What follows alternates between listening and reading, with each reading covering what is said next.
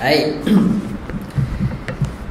Kita masuklah dalam bab perkara membatalkan wudu. Ha, dia kadang bab ni penting juga supaya menghilangkan was-was daripada dalam diri kita ni. Kadang kita tu terfikir macam-macam.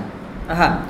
Bila dah berwuduk tu seolah-olah semua perkara yang berlaku sekeliling kita yang ada kait dengan benda-benda eh, seumpama najis ke ataupun benda-benda yang keluar daripada rongga ke kita dah anggap itu boleh membatalkan membatalkan wudu.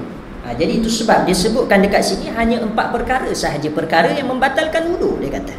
Apa dia Ustaz? Yang pertama, wayang kudul wudu dan akan membatalkan wudu itu al-khariju min ahadis sabilai.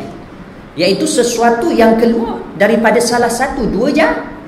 Dua jalan. Ini semua orang tahu, betul? Kencing apa apa, apa buang air besar. Lepas tu uh, kentut. Apa lagi? Hatta pun yang keluar tu bukan benda yang biasa. Misalnya kita kencing tak keluar air kencing. Kita kencing keluar darah misal. Tapi yang penting bukan darah tu yang membatalkan.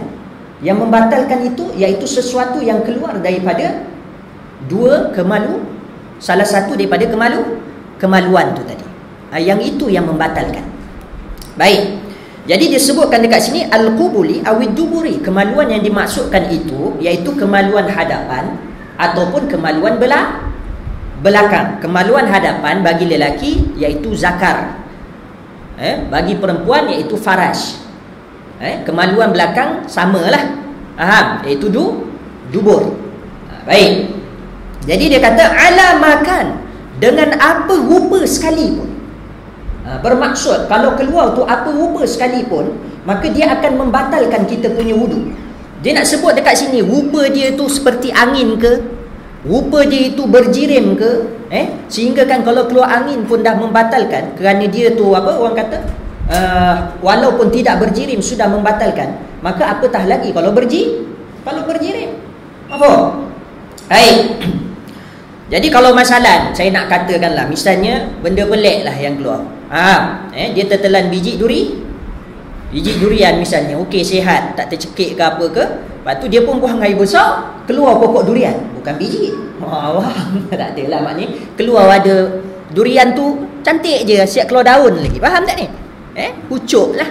Ha, ha, keluar kat situ, dia tumbuh dalam perut. Ha, jadi macam mana Ustaz? Batal ke tidak? Batal. Sebab bukan pasal durian tu. Tapi pasal dia keluar daripada salah satu dua jalan. Misal kalau kita telan, dia tak keluar daripada situ. Kita muntah keluar daripada mulut. Ha, tak batal lah. Faham tak ni? Ha, ataupun najis daripada perut kita tu. Ha, kita muntah keluar tak? Tahi daripada mulut kita. Ataupun kita hembus ingus keluar tahi daripada hidung kita. Ini semua tak membatalkan. Sebab apa? Sebab yang membatalkan itu adalah sesuatu yang keluar di antara dua jalan. Dua jalan. Boleh faham eh?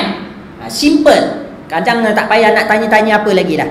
Ha, jadi jalan belakang, jalan depan, kedua-duanya itu akan memba membatalkan. Baik.